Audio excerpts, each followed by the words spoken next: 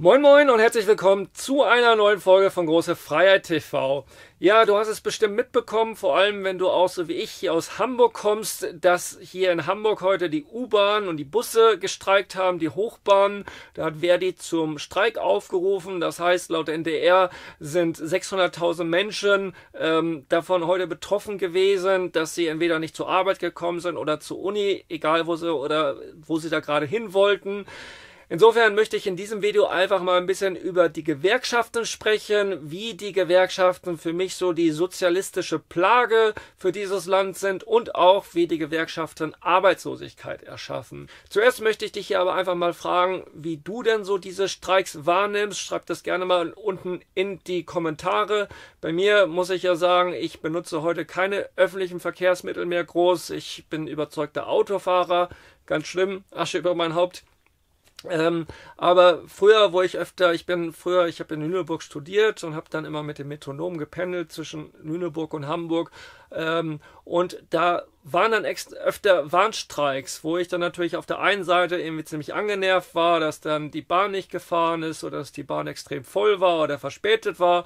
Andererseits habe ich natürlich auch gesagt, ach, die werden ja wohl irgendwie einen Grund haben, aber letztendlich habe ich mir da nie so wirklich Gedanken drum gemacht. Ähm, insofern, wie gesagt, ich bin gespannt auf deinen Kommentar, wie du solche Streiks wahrnimmst. Es ist ja nicht nur immer im Zugverkehr auch so, es ist ja auch bei im, im ähm, Flugverkehr ist es so, dass die Piloten oft streiten, streiken oder dass irgendwie die Post streikt und irgendwie äh, Briefe, Pakete nicht zugestellt werden oder irgendwas. Insofern, bevor du dieses Video weiterschaust, schreib gerne mal unten in die Kommentare, was du allgemein, was so deine Meinung von Streiks ist. Mittlerweile, nachdem ich mich auch intensiv mit dem Thema Streiks um Gewerkschaften beschäftigt habe, da habe ich hier auch ein sehr ausführliches Video dazu gemacht, kann ich sagen, dass äh, Streiks letztendlich nichts anderes sind als ein staatlich legitimierter Vertragsbruch, der dazu führt, äh, dass die Arbeitslosigkeit noch weiter steigt.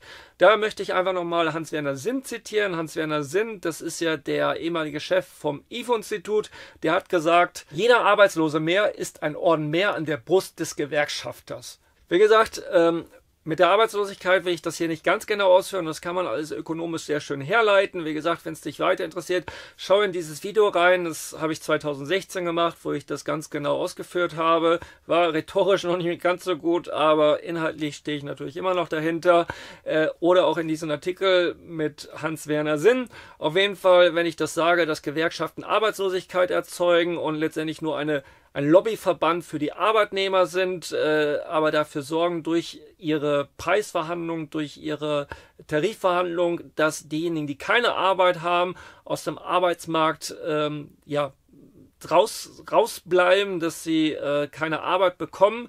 Da wird natürlich jetzt jedes Gewerkschaftsmitglied oder vor allem jeder Gewerkschaftsfunktionär, der wird an die Decke gehen und sagen, nein, wir setzen uns doch für den bösen, für den kleinen Arbeitnehmer ein, gegen den bösen Kapitalisten. Das ist immer der Ruf. So äh, Gewerkschaften haben ja auch ähm, eine sozialistische Vergangenheit, wo es dann immer heißt, der böse Kapitalist will die Arbeitnehmer ausbeuten. Dann kommt immer diese marxistische Argumentation, der eignet sich den Mehrwert des Arbeitnehmers an.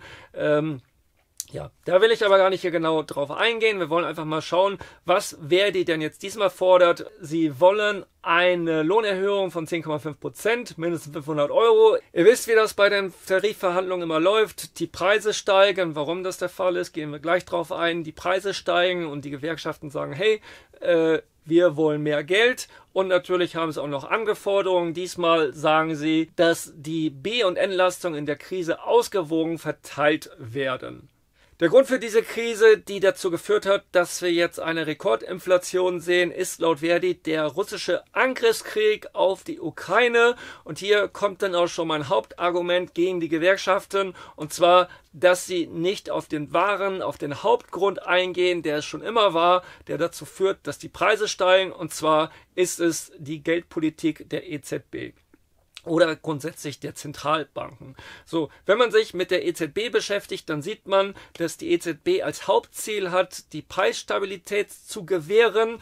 Äh, das sagen sie so euphemistisch, so wir sorgen uns um Preisstabilität. Dabei bedeutet es einfach nur zwei Prozent Inflation oder zwei Prozent Geldentwertung jedes Jahr. So, das ist deren Ziel. Ähm, man kann sich auch einfach mal ausrechnen, was das auf 10 oder 20 Jahre für eine Geldentwertung ist. Letztendlich ist es die versteckte Steuer, die durch die Zentralbanken ähm, ja, da initiiert wird ähm, und wo die Arbeitnehmer jedes Jahr äh, dadurch weniger in der Tasche haben. Aber da natürlich, da kommen dann die edlen Gewerkschafter, die sich dann für die Arbeitnehmer einsetzen und einen Inflationsausgleich beantragen. Das ist gerade das Kerngeschäft der Gewerkschaften, äh, die Gehaltsverhandlungen und da natürlich klar, wenn man das sich an das goldene Kalb, an die Giralgeldschöpfung, an das Geldsystem trauen würde, dann würde ich sagen, dann wird den Gewerkschaften noch mehr Mitglieder davonlaufen, weil dann können sie nicht jedes Jahr sagen, hey, wir haben für euch hier die und die Lohnerhöhung herausgeholt. Und anstatt dieses zentralplanerische Geldmonopol anzusprechen und damit tatsächlich zum Kern dieser ganzen Preissteigerung zu kommen, ähm, geht man natürlich hin und fordert natürlich noch mehr Zentralplanung. Letztendlich, wer gibt den Zentralbanken die Macht, dieses Geldmonopol zu haben? Das sind die Staaten. Die Staaten ermöglichen es auch, ermöglichen es auch, dass es letztendlich keinen Währungswettbewerb gibt. Ich bin hier auch, ich habe hier viele Videos dazu gemacht ähm, zur österreichischen Schule der Nationalökonomie. Ähm, bin hier auch ein großer Freund von Kryptowährungen, habe da auch viele Videos zu gemacht. Insofern schaut euch da gerne meine Videos zu den ökonomischen Grundlagen an. Und die österreichische Schule für Nationalökonomie Nationalökonomie, die sagt halt einfach, das Problem ist, dass wir keinen Währungswettbewerb haben. Und an Währungswettbewerb haben wir einfach nicht, weil der Staat das Monopol der Zentralbanken sichert. Man sieht es auch immer, wenn es irgendwelche Währungen gibt. Mir fällt jetzt zum Beispiel das Königreich Deutschland ein. Da kann man davon halten, was man will. Äh, Habe ich hier übrigens auch nochmal einen Post dazu gemacht.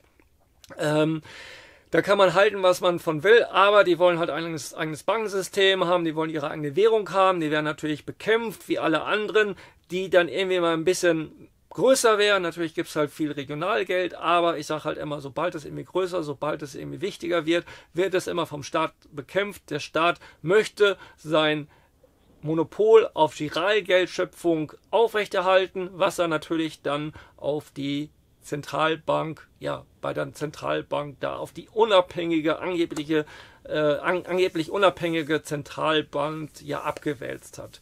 So. Und da, wie gesagt, ein großes Thema. Letztendlich das Giralgeld, die Giralgeldschöpfung, das Zentralbankwesen ist letztendlich, wie Henry Ford schon immer gesagt hat, so von wegen, der hat so gesagt, wenn die Menschen das Geldsystem verstehen würden, hätten wir noch eine Revolution vor morgen früh. So sinngemäß hat er das gesagt. Und dem kann ich auch nur voll und ganz zustimmen. Verdi fordert insofern noch mehr Staat, fordert noch mehr Macht, noch mehr Geld für den Staat, indem sie schreiben, es bedarf nachhaltiger Investitionen in staatliche Infrastrukturen, in den öffentlichen Personennahverkehr beispielsweise, aber auch in die zu meisternde Energiewende und in die Bildung um nur drei Beispiele zu nennen. Wir sehen hier Energiewende, natürlich die Gewerkschaften als Sozialisten sind sie natürlich bei allem auf Linie, auch bei dem Klimawahn, da habe ich auch mehrere Videos dazu gemacht. Schaut gerne hier in die Playlist, da war ich öfter auch mal bei Fridays for Future, habe mit den Leuten da über den Klimawandel gesprochen, natürlich habe den so ein bisschen auf den Zahn gefühlt oder hier auch eine Playlist, wo ich Mainstream ähm, Mainstream-Beiträge, die teilweise schon sehr alt sind, zu diesem Thema zusammengefasst habe. Insofern, wenn ihr in dieses Thema noch nicht tiefer reingeschaut habt, macht das unbedingt. Weiter heißt es dabei Verdi, dass man natürlich die bösen Unternehmer zur Kasse beten will, vor allem die, die von der Krise profitiert haben und das will man mit einer Übergewinnsteuer machen. Natürlich, wer sich ein bisschen auskennt, wer irgendwie eine kaufmännische Ausbildung gemacht hat oder BWL oder irgendwas studiert hat, der kennt sich mit Buchhaltung aus, der weiß, dass in der Buchhaltung jede Steuer als Aufwand verbucht wird und alle Aufwendungen fließen gleichzeitig in die Preise mit ein. Das heißt, ähm, mit je mehr die Unternehmen besteuert werden, desto mehr müssen sie ihre Preise erhöhen. Natürlich, klar, man kann natürlich sagen, die machen sowieso so viel Gewinn, äh, das können die, die machen dann halt weniger Profit, aber meistens führt es dazu, dass die Preise erhöht werden, was natürlich dazu führt, dass der normale Arbeitnehmer ähm, weniger Geld in der Tasche hat, weil er halt einfach mehr für diese Preise ausgeben muss, für diese Produkte. Das sind aber natürlich Grundlagen, die Sozialisten nicht verstehen. Ähm, sie wollen natürlich hier noch mehr Steuern haben. Äh, sie fordern hier eine Digitalsteuer, eine Vermögensteuer und noch eine höhere Erbschaftssteuer. Guido Westerwelle, der FDPler, der meiner Meinung nach noch einer der ganz, ganz wenigen Liberalen in der FDP damals war, ähm, bezeichnet die Gewerkschaften zu Recht als eine Plage für unser Land und wollte sie damals entmachten. Ich möchte hier mit einem schönen Zitat von dem großen Roland Bader abschließen. Roland Bader ist ein Ökonom in der Tradition der österreichischen Schule gewesen. Ich habe, glaube ich, von niemandem mehr Bücher gelesen als von, von Roland Bader. Ich glaube, es waren fünf, sechs. Habe ihn auch immer wieder zitiert. Und er schreibt so schön, Gewerkschaften sind die Totengräber für Markt, Freiheit und Wohlstand und somit die schlimmsten Feinde ihrer eigenen Klientel, der Arbeitnehmer. Gewerkschaften sind also nichts anderes als eine sozialistische Plage für unser Land, angelehnt an Guido Westerwelle, solange sie nicht den Kern der ganzen Preissteigerung, nämlich das Geldsystem, ansprechen.